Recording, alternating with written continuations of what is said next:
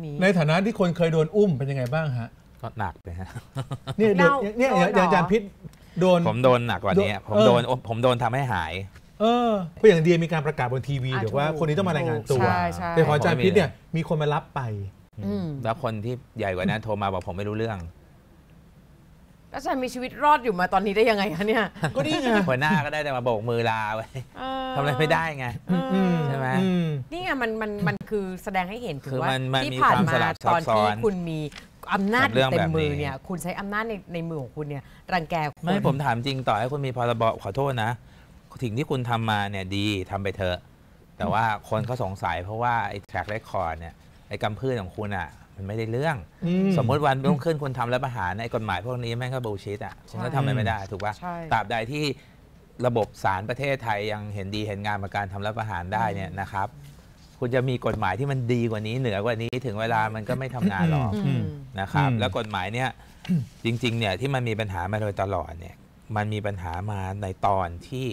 บ้านเมืองเนี้ยมันอยู่ในอำนาจอยู่ใต้เท้าของคุณน่ะอืม กฎหมายกี่ฉบับก็ไม่ทำงานทั้งนั้นนั่นแหละ นี่นี่นี่นี่คุณอนุชาบอกนะครับ รัฐบาลภายใต้การบริหารงานคุณคุณประยุทธ์ มีความมุ่งมั่นจะบังคับใช้กฎหมายนี้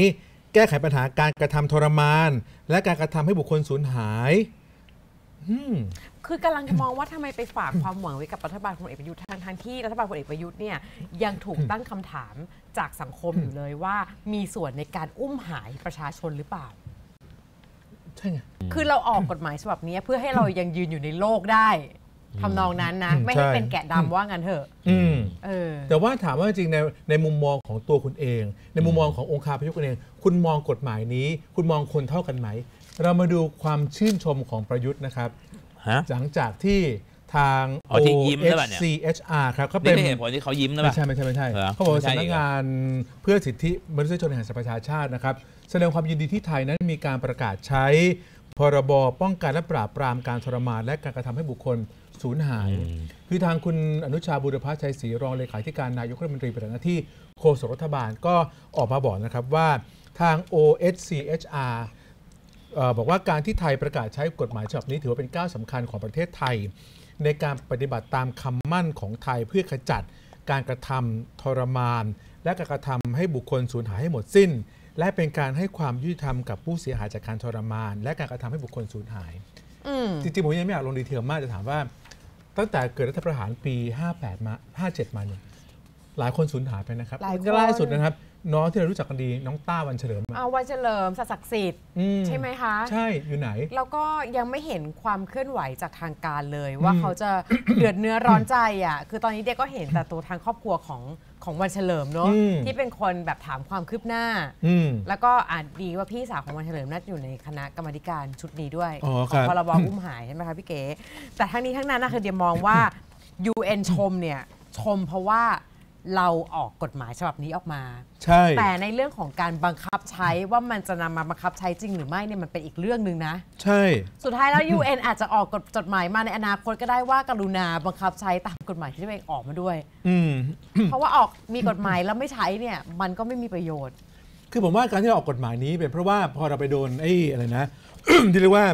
U UPR ที่อะคือโดนเขามอนิเตอร์อยู่โดนใช่ไหมมอนิพี่เตอเก๋ร์แต่ละค่ะครั้งแต่ละอาจารย์พิธีอืมเราต้องไปที่เจนีวา ค่ะแล้วเขาก็จะไปถามเรานู่นถามเรานี่เนี่ยอืม พอเราถามเราบอกเราจะทำเราจะทำอันนี้ก็เป็นสิ่งที่เราไปพูดไว้ในการประชุมของ OSCHR ว่าค่ะ โอ้เรามีกฎหมายอยู่นะ เพราะฉะนั้นพอเรามีกฎหมายเขาก็ต้องบอกโอ้ดีใจที่คุณออกกฎหมายตามที่เราได้ทวงถามคุณไปแล้ว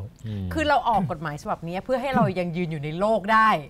ทำนองนั้นนะอืมไม่ให้ใช่เป็นแกะดำว่างั้นเถอะอืมเออแต่ว่าถามว่าจริงๆในในมุมมองของตัวคุณเอง ในมุมมองขององค์คาพยพคุณเอง คุณมองกฎหมายนี้ คุณมองคนเท่ากันไหม คนรอบข้างคุณบางคน หรือสลิมบางคนบอกว่าจัดการกันมาไปเลยสิมันยังมีอารมณ์แบบนี้อยู่ถูกไหมเดีย มีเยอะเราก็จะเห็นในทวิในทวิตเตอร์หรือเวลาอะไรอย่างเงี้ยคือบางทีก็แบบอุ้มเลยเออเออเดี๋ยวอย่างนี้อย่างนี้ไม่กลัวโดนอุ้มเหรอเออแบบมันมันไม่ใช่มันไม่ใช่คำขู่ที่ ที่จะเอามาพูดกันเล่นๆนะอืมของอย่างเงี้ยคือเดียวว่าไม่เจอกับตัวไม่รู้แล้วแบบว่า แต่ทางบ้านของคนที่เขาถูกอุ้มอะเขาจะรู้สึกยังไงเขาจะรู้สึกไงแล้วทุกวันน่ะเขาต้องเขาต้องตั้งตารออะอาจารย์พี่เก๋อืมรอว่าเฮ้ยมันจะมีวันที่โอกาสได้เจอกันอีกครั้งออกไหมกฎหมายเนี่ยถาแก้ปัญหาเก่าไม่ได้แก้ใช่ไหมไม่ได้แก้ไม่ไม่ได้แก้แล้วกฎหมายปัญหาใหม่จะบังคับใช้ยังไงยังไม่ได้พูด นี่นี่นี่นี่คุณอนุชาบอกนะครับ รัฐบาลภายใต้การบริหารงานคุณคุณประยุทธ์ มีความมุ่งมั่นจะบังคับใช้กฎหมายนี้ แก้ไขปัญหาการกระทำทรมาน และการกระทำให้บุคคลสูญหายอืมคือกำลังจะมองว่าทำไมไปฝากความหวังไว้กับรัฐบาลพลเอกประยุทธ์ทางทางที่รัฐบาลพลเอกประยุทธ์เนี่ยยังถูกตั้งคำถามจากสังคมอยู่เลยว่า มีส่วนในการอุ้มหายประชาชนหรือเปล่า ใช่ไงถูกไหมแล้วเรียกำลังงงว่าแล้วทำไมเราจะต้องมาฝากความหวังไว้กับรัฐบาลชุดนี้ ในฐานะที่คนเคยโดนอุ้มเป็นยังไงบ้างฮะก็หนักเลยฮะเนี่ยโดนเน่าเนี่ยโดนอย่างเหรออย่างอาจารย์พิษ โดน ผมโดนหนักกว่านี้โดนผมเออโดนผมโดนทำให้หาย เอออืมอย่างเงี้ย อย่างเดียอย่างเดียตอนนั้นคือเราอย่างปรับทัศนโดนปรับทัศนคติเนี่ย มันก็ถือเป็นการเราใช่แต่ถูกว่าเข้ามันไปกักบริเวณเหมือนกันนะแต่ของคุณยังมีชื่อไงเออของใช่ผมไม่มี ใช่ใช่ใช่คืออยู่ผมไม่ที่มีอยู่ดีที่อาจารย์พิษหายไปเนี่ยเออไม่มีใครรู้ไม่นะมีใครรู้ใช่เพราะอย่างเดียมีการประกาศบนทีวีอะเดี๋ยวว่าถูกคนนี้ต้องมารายงานตัวใช่ใช่แต่ของอาจารย์พิษเนี่ยมีคนมารับไปอืมแล้วคนที่ใหญ่กว่านั้นโทรมาบอกผมไม่รู้เรื่อง แล้วฉันมีชีวิตรอดอยู่มาตอนนี้ได้ยังไงคะเนี่ย ก็นี่ไงหัวหน้าก็ได้แต่มาโบกมือลาไว้เออทำอะไรไม่ได้ไงเออออืมใช่ไหมอืมนี่ไงมันมันมันคือแสดงให้เห็นถึงคือว่ามันมันที่มีผ่านความมาสลับซับตอนซ้ที่อนคุณมีอำนาจกับเรื่องเต็แบมบมือนี้เนี่ย คุณใช้อำนาจในในมือของคุณเนี่ย รังแกคนไม่ผมถามจริงต่อให้คุณมีพรบขอโทษนะสิ่งที่คุณทำมาเนี่ยดีทำไปเถอะ แต่ว่าคนเขาสงสัยเพราะว่าไอ้ track record เนี่ยไอ้กำพืชของคุณอะ มันไม่ได้เรื่องอืมสมมุติวันรุ่งขึ้นคุณทำรัฐประหารไอ้กฎหมายพวกนี้แม่งก็บูชิตอะคุณก็ทำอะไรไม่ได้ถูกป่ะใช่ตราบใดที่ระบบศาลประเทศไทยยังเห็นดีเห็นงามกับการทำรัฐประหารได้เนี่ยนะครับ คุณจะมีกฎหมายที่มันดีกว่านี้เหนือกว่านี้ถึงเวลามันก็ไม่ทำงานหรอกอืมนะครับอืมแล้วกฎหมายเนี่ยจริงๆเนี่ยที่มันมีปัญหามาโดยตลอดเนี่ยมันมีปัญหามาในตอนที่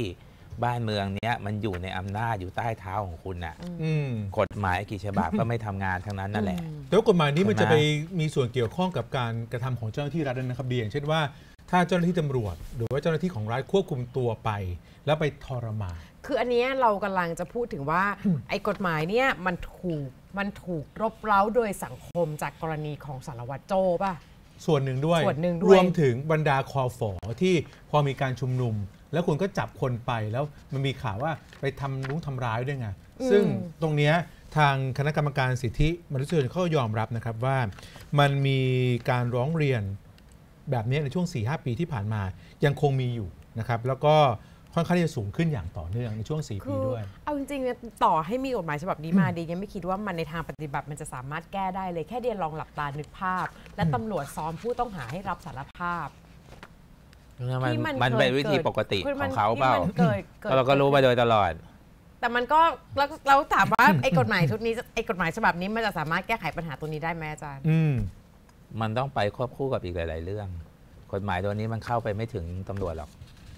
จริง แล้วมันใช้กับใครก็นั่นแหละมันก็มีไว้ที่เป็นพิธีกรรมเอาที่ไว้เอาเป็นมีสกฎนาหมายมเอาเอาไว้เป็นสนามในการต่อสู้แต่ถึงเวลาเวลาเขาสู้กลับเนี่ยเราต้องไปดูในเวลาเวลาเขาสู้คดีใช่ไหมฮะ ว่าอีกฝ่ายหนึ่งเขาใช้ข้ออ้างอะไร ถ้าเกิดคุณไปฟ้องเขาด้วยคดีแบบนี้เนี่ยอืมเราต้องถามอย่างคนเดียวว่าเวลาไปดูในการสู้ทางกฎหมายเนี่ยอ่าค่ะถูกไหมอืมเวลาฝ่ายที่เขาป้องกันตัวเอง เขาจะมีอืมวิธีอธิบายของเขาเยอะอืมแยะก็ดูตอนนี้ที่แบบเอาถุงคลุมหัวเนี่ย ถ้าไม่มีไม่มีกล้องก็จบแล้วอืมถูกไหมคือมันเห็นเห็นอยู่อืมคือสคือสำหรับเดียนะกฎหมายเนี้ยคือเอาไว้ให้เรามีที่ยืนในเวทีโลก ใช่ค่ะแต่ว่าในแง่ของการนำมาปฏิบัติใช้จริง ยังเป็นคำถามอ่าอยู่มากมายว่า คุณจะใช้จริงได้ยังไง